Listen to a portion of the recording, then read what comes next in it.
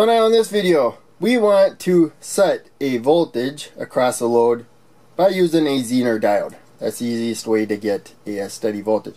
Unfortunately, with the uh, Zener diode, you need some current flowing through it and to use a resistor to limit that current. If you apply that directly to a load, the load will throw that off because it'll be drawing away current you need to help hold that uh, voltage. So it's very tricky to uh, make it work uh, directly. So we will just take a transistor. We take that Zener voltage and give it to the base of the transistor. So now that will transfer down here. You do need current flowing though through the transistor to do so. So you need that connection. We'll come up, come back to that in a little bit. But in any case, the uh, voltage transfers, but you lose about uh, 0.6 volts.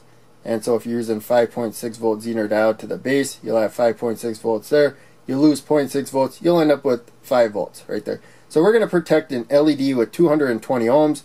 That's the bare minimum resistance for 5 volts right there. And uh, so that'll hold 5 volts steady. The current needed to hold that voltage is going to be delivered by the transistor. That's just the way it works when you have it wired as an emitter follower. Now we have this other resistor here. And this 10 kilo ohm resistor, some loads will throw off that voltage for one reason or other. They tend to be semiconductor loads. And uh, so if you just put resistance to a ground, uh, you don't really need hardly any current flowing through. 10 kilo ohms works uh, pretty well, but it helps stabilize that voltage, hold it pretty good. So the uh, schematic form right here, we have an NPN bipolar junction transistor schematic symbol.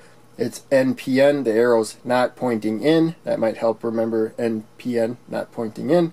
And uh, the emitter is the arrow, the base is the bar over there, and then the collector is uh, on top right there. So we're going to use the 2N3904 and that's the uh, pin layout when you're looking at the flat side. So that voltage will not depend on the power supply voltage at all. That's what's nice about this. We can change the power supply voltage. We'll have a steady voltage whereas when we had the voltage divider in an earlier circuit it uh, moved with the uh, voltage divider. I think I made that circuit. But in any case, this one we have the Zener diode setting a certain voltage so that will be transferred, other than being 0.6 volts lower.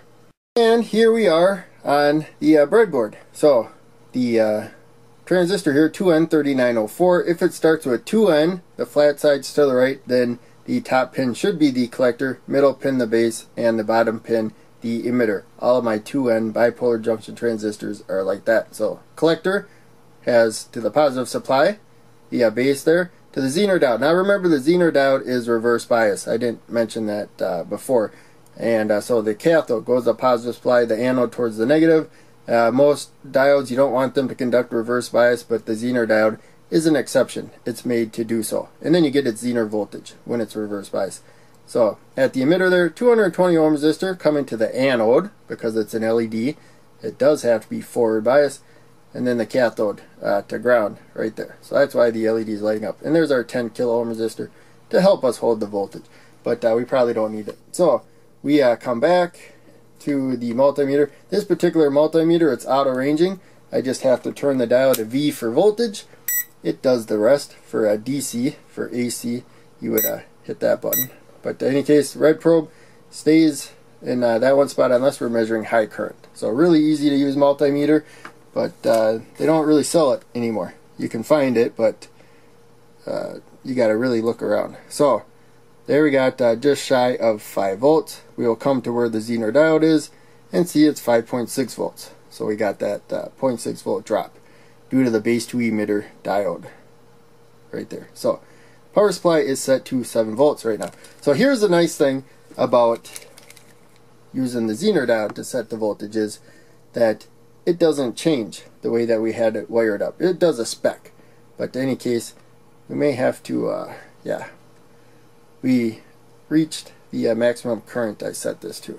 So it would only provide 20 milliamps of current. What it does, it lowers voltage as needed to prevent uh, too much current from uh, going through the circuit. So where we go. Let's actually go up to, might as well do 14 volts. So this is pretty close to the maximum voltage we should do. So that current that we see is through the LED plus through the uh, 1 kilo ohm resistor setting the current for the Zener diode and this may even uh, make it move maybe it would be a 21 milliamps without that 10k and then with it having the current go that might be enough to bump it up so just be aware that's all the currents added together that's not the current going through the LED the LED should have the exact same current going through it for the most part because it should have close to exactly the same voltage. So there you can see we got 5 volts. Looks like it went a spec higher. And so the Zener diode does start letting through a little more or building up a little bit more voltage as current goes higher through it. But we we literally doubled the uh, voltage. And so it should have twice uh, more than twice the current going through it and it didn't change a ton. So there we go. We got 14 volts at the power supply. Because remember it builds up about 5.6 volts across it. The rest of the voltage goes across the uh, resistor.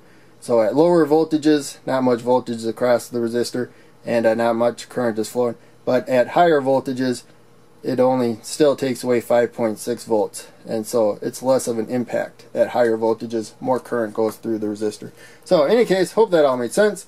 Make sure you check out one of the other videos I'm posting on the screen. Turn off the uh, multimeter. Click like, subscribe, the bell, all that. Donate Patreon if you can. That helps out the most. But just watching videos helps out a ton. Thanks to everybody that uh, watches them. I will see you in the next video.